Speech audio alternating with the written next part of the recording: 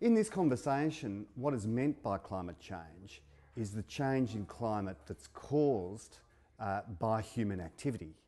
So, in other words, it's the, it's the climate change that's been caused by the increase of greenhouse gases in the atmosphere.